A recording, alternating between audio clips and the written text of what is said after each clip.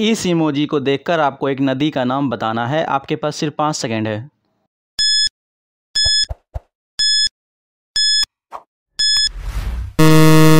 इसका सही जवाब है ऑरेंज रिवर। धन्यवाद।